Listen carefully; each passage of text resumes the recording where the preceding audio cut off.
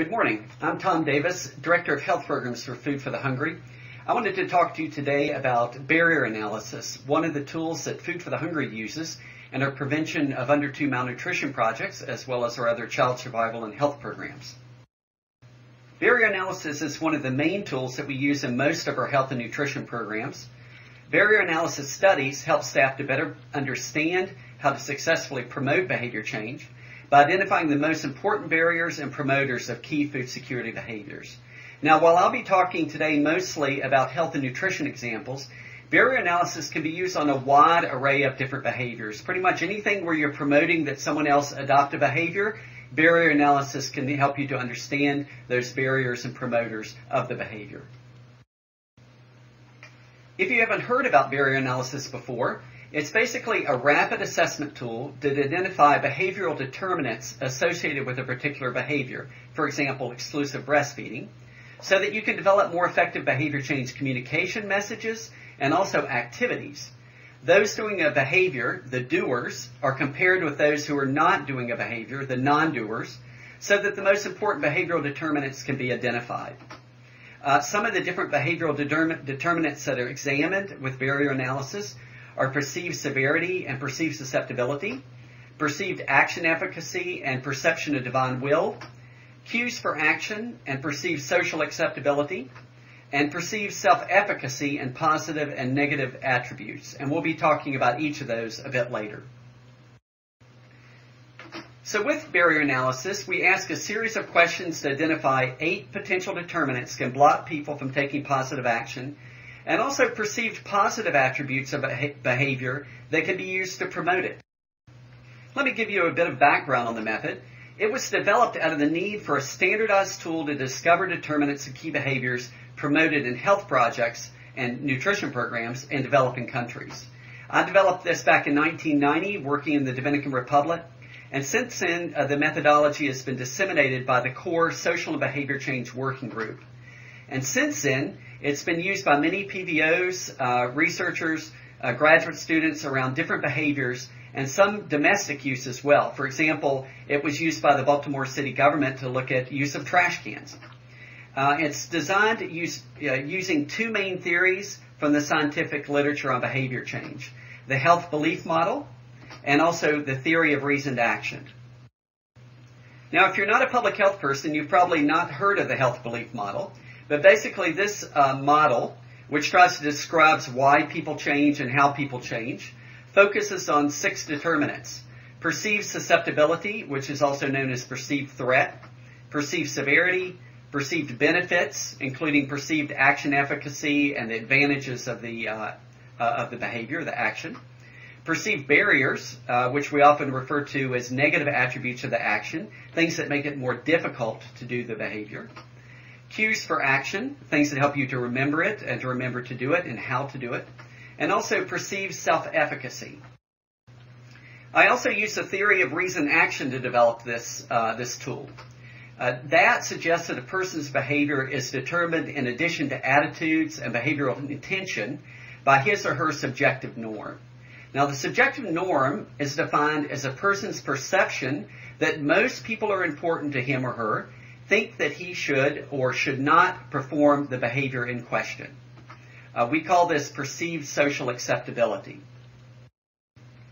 There's one other determinant uh, that Food for the Hungry decided uh, that we would add to this model, and that's from a realization from our program experience of the importance of people's perception of divine uh, God's or the God's will as a motivator for their behavior. So often, in addition to what other people around them think, uh, they they look to their own faith and are trying to decide what are the things that they believe that God or the gods would like them to do. Uh, and that's another reason, uh, that's a reason we've decided to include this as well, and we found it to be important uh, for many behaviors. Now, we made modifications to this methodology. Um, this has been in, uh, more recently. Uh, looking at AED's doer non doer analysis tool, and we decided to begin looking at these different determinants and barrier analysis, comparing the responses of the people who do a behavior, the doers, with those who do not do the behavior, the non-doers. That can be very useful in identifying the most important barriers. So uh, doer non-doer analysis is actually included in, as part of barrier analysis. Barrier analysis is bigger than doer non-doer analysis. It includes uh, questions on uh, some other important determinants that are not included in that type of analysis. Uh, but we definitely owe a debt to AED for coming up with doer non-doer, which we've integrated into this now. Here's the reason that it's important to compare doers and non-doers when looking at determinants of behavior. This is from a condom survey done by AIDSCOM in the Eastern uh, Caribbean in 1991. And from KPC data, you could see, for example, that 25% of youth said that AIDS is mostly transmitted by heterosexual sex. So they had a problem with perceived susceptibility. Um, 95% said, I know how to use condoms, so perceived self-efficacy didn't seem to be a problem. 53% said, my friends approve. Uh, 45% said, my boy uh, or girlfriend will stay with me, so in the perceived consequences area. Now, looking at this, you might uh, say, well, the real problem that we need to work on is perceived susceptibility. It's the lowest one. Uh, it's what we should devote our most time to because that seems to be driving the behavior. But is it really? This is from that same project, now comparing the doers, who are the red bars, those are youth who are using condoms, to the non-doers, the blue bars, youth who are not using condoms. And looking at this graph, you can see that uh, while their uh, perceived susceptibility is low, it's actually low amongst people who are using condoms and not using condoms. And for that reason, it doesn't appear to be what is driving condom use uh, and adoption of condoms. Instead, it's probably these two. Perceived social norms, a big difference. 68% of those using condoms said my friends approve, where only 38% of the non-doers said so. And perceived consequences. 56% of those using condoms said my boy or girlfriend will stay with me if I use condoms, where only a third of the non-doers said it. So that's one important reason that you can't just take your KPC data or other cross-sectional data and come up with the best messages. You need to use some tool that's going to allow you to compare the doers and the non-doers to see the differences between those two groups. And barrier analysis is a, a great tool for doing that. As I said, this is a rapid uh, methodology. Uh, once people are trained, and often we'll do uh, a training that might last a day or, uh, or, two days, it often would be part of the Designing for Behavior Change curricula, which goes into a lot of other things. Uh, that training is six days long total. But to, if you have two people, uh, it will probably take you about a day or two for each behavior that you're studying. And we often will only focus on maybe the top three or four behaviors that we think are really driving uh, the impact. For a larger group, more behaviors can be done in the uh, same amount of time if you have more people because you'll have more interviewers. And with the sample size, we found that uh, 45 doers versus 45 non-doers usually generates enough management information and avoids having a lot of useless, statistically significant differences that have very small odds ratios. So if you find that, for example, doers are 10% more likely to do something than non-doers, I'm really not interested in finding that out. I would like to see things where uh, doers are two or three times more likely to be doing something. Uh, using this size sample, 45 doers, 45 non-doers, uh, we've been very happy with the results we've seen across organizations in using that sample size. I know uh, in terms of factors influence our decisions about behaviors, some of the terminology we'll use, uh, I'm going to speak about preventive action. That's an action or behavior that can prevent disease, uh, prevent problems like agricultural problems, etc. It's not necessarily a health behavior. Uh, th- sorry, this preventive action is any sort of behavior that you're promoting that can help prevent some other problem. Uh, in terms of which behavior to choose, we choose one that's key to program success and or has been difficult to change in the past. So we'll look at our KPC uh, and see uh, what, what's a behavior that some people are practicing, but it's still quite low, say under 20 or 25 percent, and would like to scale it up. And it's something that we think will have a lot of impact, like exclusive breastfeeding is one we've used, knowing that proper breastfeeding practices can avert about 13% of all child deaths. Um, so that's another thing that goes into it. Also, some of us will look back at our program results, and if we see something that we tried to change in the past and we were unable to really have very much movement in that indicator, that's one would, uh, that would decide to do um, barrier analysis around. Okay, so when doing a behavior, which do you think is more important?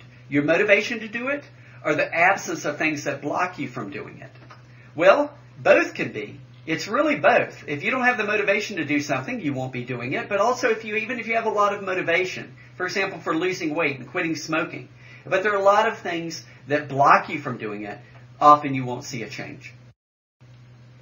When I taught this to health promoters in the Dominican Republic many years ago, we actually used a, a physical scale that looked like this, showing them how that all these different uh, determinants on the left side, which would go through and explain to them, will really push the decision towards a no in terms of doing the behavior. If any of those are those barriers are present, but these positive attributes of an action are people that support you in doing uh, the behavior. Um, the advantages of doing it, those are things that will push you towards a yes in terms of doing the behavior. Since you might not be um, familiar with all of these determinants, I'll give you a bit of background. Uh, the first one that we talk about is perceived susceptibility. Basically, that is, could that problem happen to me?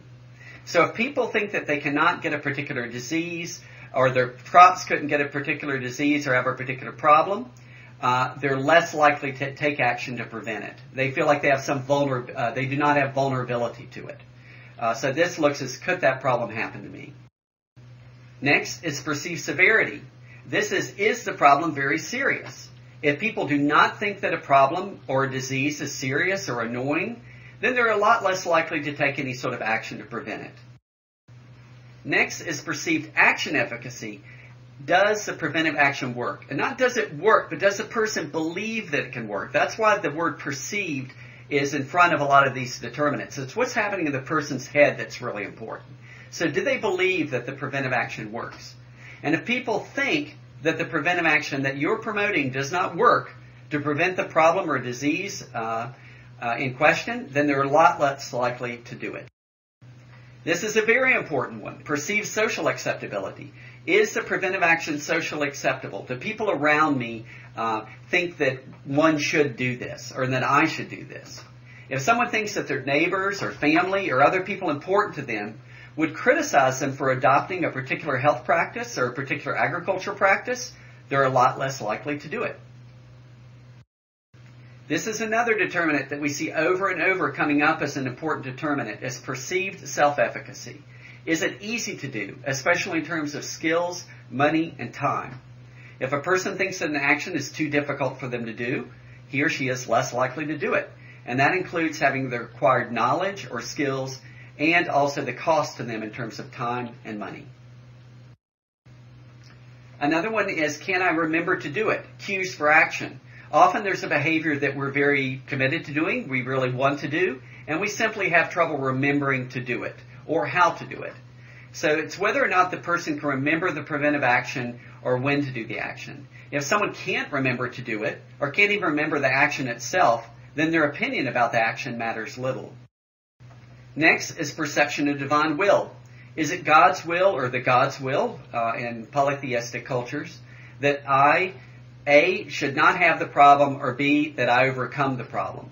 If someone believes that it's not God's will that they avoid the problem or to be released from a problem or disease, then they're probably going to do uh, be less likely to do anything to try to uh, avoid it or to be cured of it or released from it themselves. And then there are negative and positive attributes associated with the action. And when talking about this, let's remember that these attributes don't necessarily have to do uh, with health or nutrition or agriculture. For example, at one point, um, uh, when they were trying to get people to brush teeth, uh, for the longest time they would talk about one of the attributes was that it would help you to avoid cavities or caries. But then they realized they could sell a lot more toothpaste and have more people brushing their teeth if they talked about being kissable um, and, and having fresher breath if you brushed your teeth. So it's whatever is important to that person um, in, in, a general way, not necessarily specific to what we're interested in. Uh, so attributes are characteristics in addition to the other seven determinants that may not have anything to do with health or community development outcomes, but may have to do with personal preferences and tastes.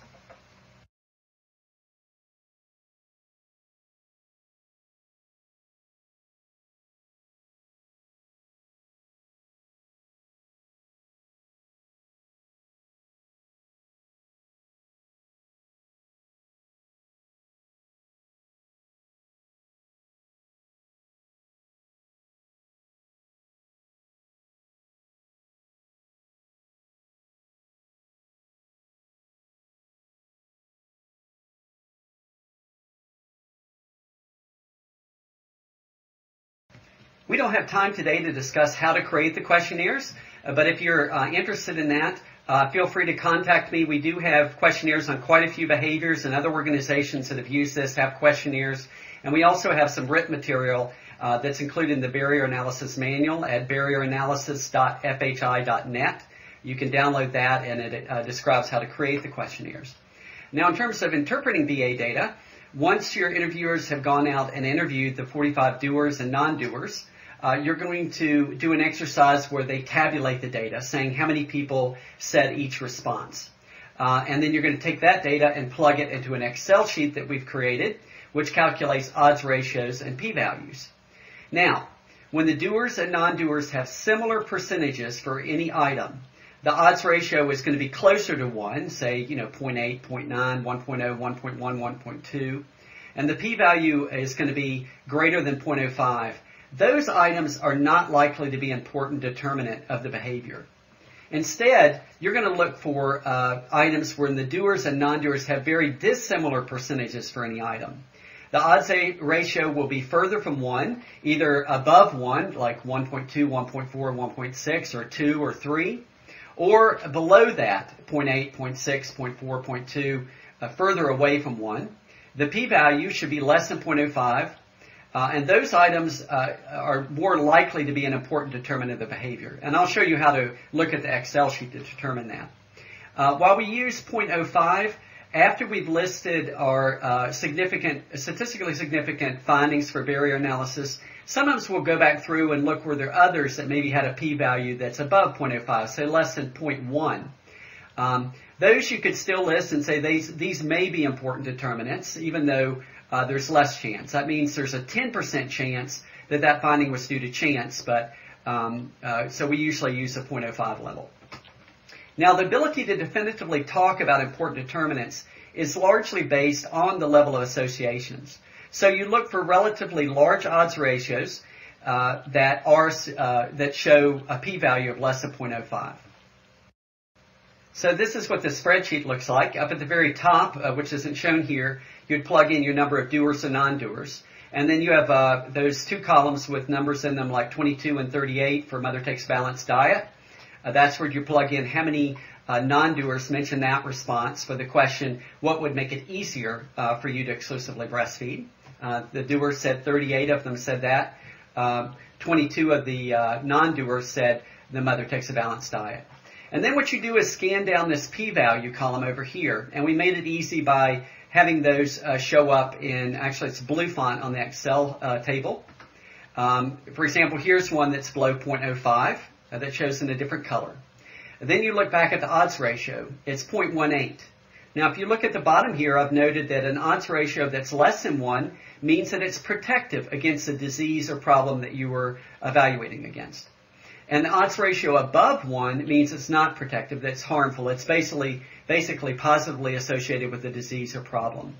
So if I wanted to express this in terms of how much more likely is it, um, uh, if I want to talk about this, often what I'll do is take the inverse. So I'd take 1 divided by that 0.18 and I get 5.6.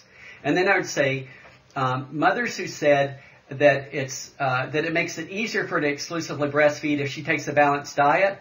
Uh, those mothers are, are more likely to be exclusively breastfeeding, 5.6 times more likely to be exclusively breastfeeding.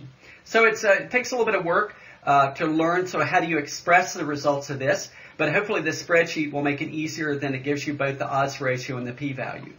Notice for the husband and the mother-in-law, those both have p-values above 0.05, so you would disregard them. And then below, people who said that friends, aunts, brothers, sisters, or parents would approve, we actually grouped those together uh, to look for an association.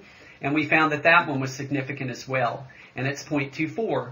And if you take the inverse of that, it's going to be about 4. So you would say people that said that friends, aunts, brothers, sisters, and parents approved were four times more likely to be exclusively breastfeeding.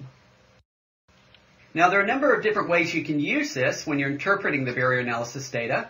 One is that doers' responses may include ideas for strategies on how to make the behavior easier or more appealing to people, uh, your target group especially, and can provide clues for messages to non-doers as well to try to get them uh, to begin adopting the behavior. So you should, should examine those carefully. Also, sometimes more doers list a particular disadvantage of the behavior than non-doers.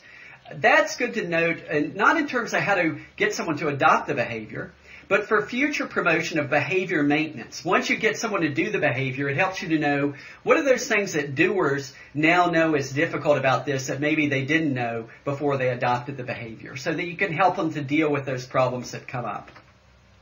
And lastly, looking at differences between doers and non-doers as to who approves or disapproves of the behavior may provide important information on who to target for your intervention. Let's look at some actual uh, uh, barrier analysis data from a project. This is from uh, Food for the Hungry's USAID funded Expanded Impact Child Survival Program in Mozambique, uh, funded by the USAID Child Survival and Health Grants Program. This was done in Sofala province in May 2007, uh, near the beginning of the project. And uh, we did this on exclusive breastfeeding. In our baseline KPC survey, we found that only 17% of infants 0 to 5 months of age were exclusive, exclusively breastfed in the last 24 hours. So that's why we decided to do barrier analysis uh, to look at that particular behavior.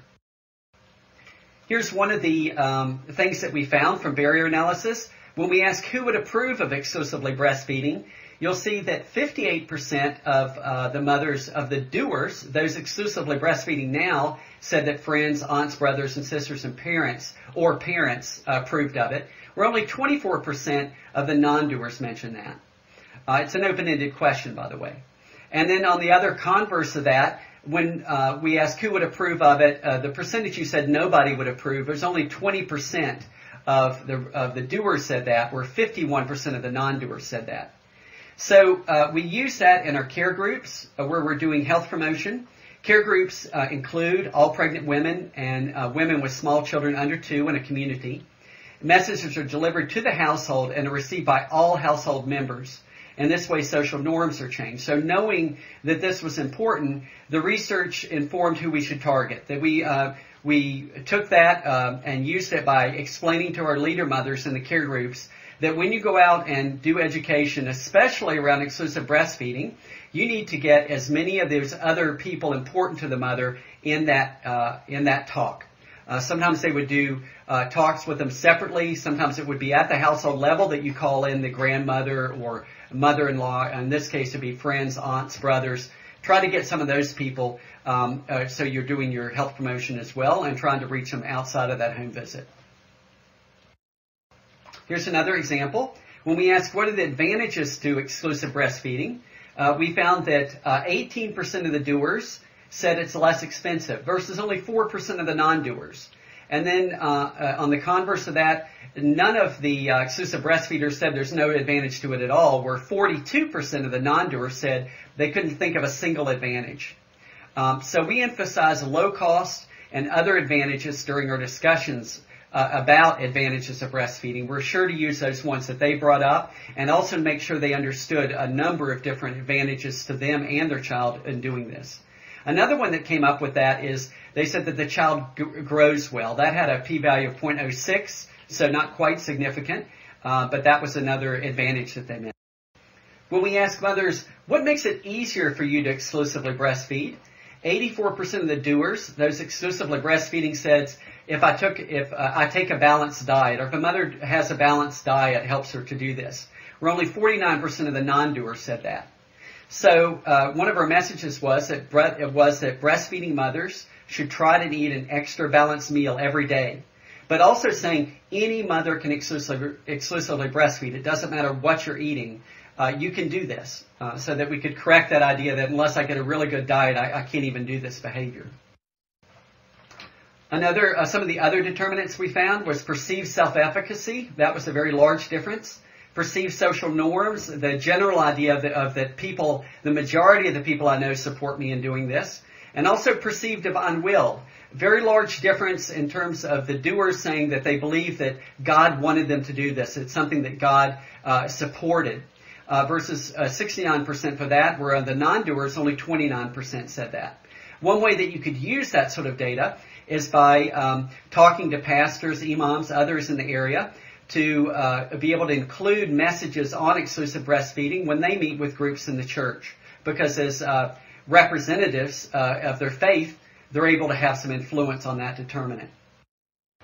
This question doesn't really fit with one of uh, the eight determinants, but just to give you an idea, sometimes you'll be reading something and realizing there are other important determinants out there. Feel free to put those in your barrier analysis questionnaire as well. For example, in Food for the Hungry, the more we studied motivational interviewing, uh, we realized the question about how important does someone think the behavior is, that can be a determinant as well. So we asked mothers this and found that uh, 89% of the uh, doers said that it, it was very important versus only 53. So we knew we had to increase uh, the level of importance that mothers assigned exclusively breastfeeding.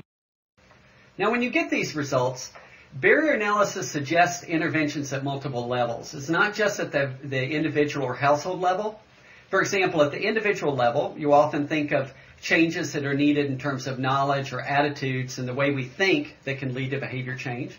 Or it might also be supplies, like having stickers to remind people to wash their hands, or providing ORS packets at the household level. If a mother has a, a spare ORS packet, it might make it easier for her to use ORS. If you found that in a study, that would be something you might change at the household level.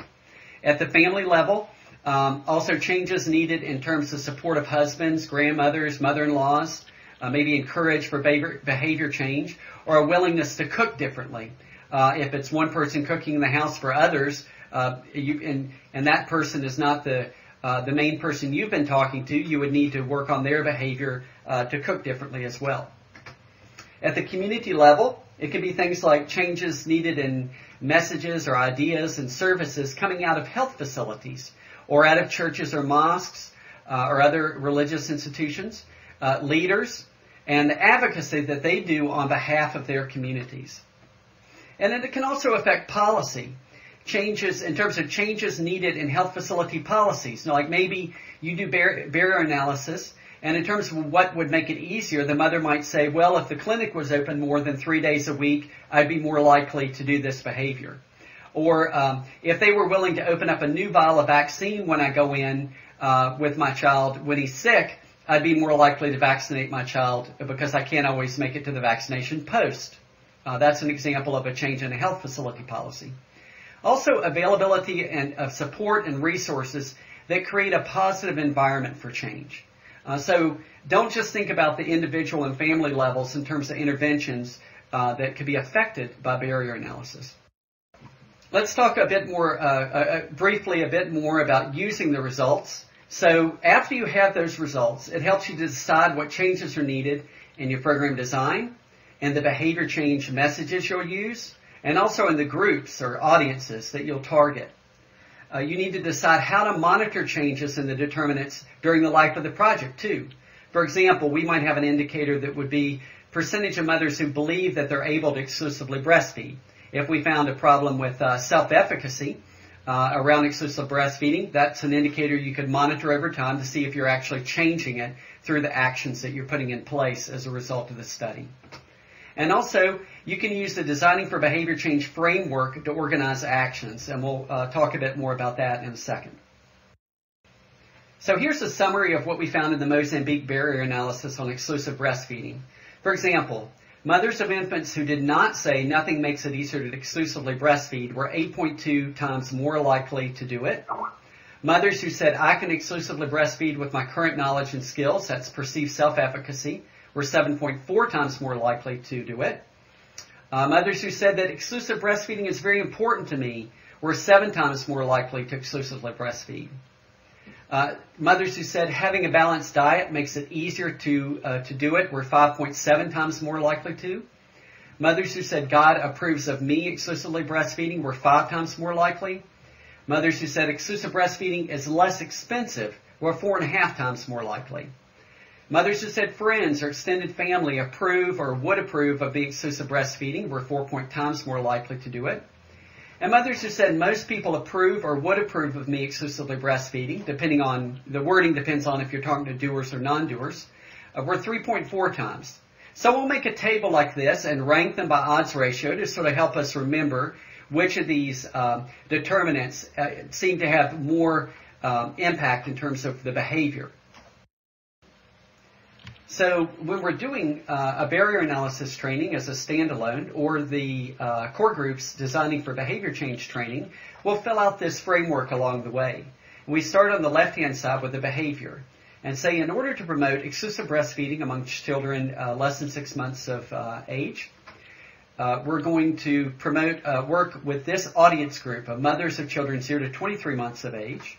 And we're going to research uh, these key determinants. And so you list the determinants that you included in your questionnaire, most likely all of them. Uh, and we actually have bolded the ones that we found to be uh, uh, significant in Mozambique after we collected the data. And then we're going to address these key factors based on what we found about these determinants. For example, that not all mothers believe that they can exclusively breastfeed, especially if they have a child who is sick or if they're not eating a balanced diet. Uh, and mother, not all mothers realize that they can exclusively breastfeed. If they do it, uh, they can save them money. Uh, not all of, them, all of them believe that their extended family members support them exclusively breastfeeding. Not all of them believe that God is in favor of their exclusively breastfeeding. And not all of them realize that exclusively breastfeeding will help their child to avoid diarrhea. And not all, all of them believe that exclusive breastfeeding is important. So those are the things that we found in this study. And then we come up with a list of activities and messages here. And we say, because of this, we're going to use the messages. And this program, it was through 4,830 leader mothers in the care groups. Uh, one of them would be that exclusive breastfeeding is important. We talk about disease prevention, immune effects, and mental development, uh, reasons to breastfeed. That you can exclusively breast, uh, breastfeed successfully even if you do not change your diet. And that exclusive breastfeeding can save you money. Uh, and that a, a, mother should eat an extra meal each day while uh, uh, breastfeeding. We also, and we had other messages, but that's just some of the messages that came out of this. And also strategies like convincing extended family members of the value of exclusive breastfeeding and having them encourage mothers to do it. Uh, showing community support for exclusive breastfeeding to work on those uh, that social acceptability determinant, uh, like having communities come up with declarations that they read, maybe at public gatherings, that they support this, and having clergy promote exclusive breastfeeding, knowing that uh, divine will was one of the determinants. Uh, like giving them sermon guides on God giving us what we need, and that includes uh, breast milk for the child for the first six months of life. And maybe posters, for example, saying you can do it, anyone can exclusively breastfeed, and then giving some other advice with that. So this is what we, uh, those are the things we put into place as a result of our barrier analysis studies in Mozambique. And here's the result of what we saw in terms of behavior change. Uh, baseline, as I said, only 17% of mothers of children uh, 0 to 5 months were exclusively breastfeeding. Um, as of May 2006, uh, we started in uh, April of 2006. It already had jumped to 67% of those uh, were doing it. Uh, in September of 2007, 75% were exclusively breastfeeding. And in December 2007, 95% were exclusively breastfeeding. So uh, some of that change undoubtedly occurred before we did um, uh, uh, our promotion of exclusive breastfeeding. We, we've seen that sometime at care groups where just getting mothers into groups, it seems like uh, it, it, they start making changes in their life of things that they've heard were good for them for quite a while. Uh, we think that could be due to just some changes in generalized self-efficacy uh, that mothers have when they have someone that starts coming to visit them very often or they're involved in a group. But nonetheless, uh, you can see this large change in exclusive breastfeeding over the life of this project for one of the behaviors that we used um, barrier analysis in. We also did it for hand washing with soap, for example. That uh, increased dramatically from right around 1% of mothers stating four times when they uh, wash their hands with soap at baseline up to um, over 95% uh, by midterm. And we have no doubt that these large increases in exclusive breastfeeding also helped in lowering the underweight prevalence. Um, at February 2006, the uh, underweight, uh, there are 26.8% of the children who were underweight uh, in this project. Uh, in September 2007, when we returned to DNA anthropometry, it had dropped to 15.6, um, and that's a weighted average. And uh, in September 2008, it remained at 15.6% of children underweight. So that's a 42% reduction in underweight seen in this project uh, in a very short period of time. Thanks for your patience. I hope there's some things you learned today. Uh, if you have questions about uh, this approach, uh, feel free to call, uh, contact me or Mitzi Hanold at Food for the Hungry. Um, we also would like to thank the CORE Group uh, for everything that they've done to help disseminate this and other innovations in child survival and community health. Thank you very much.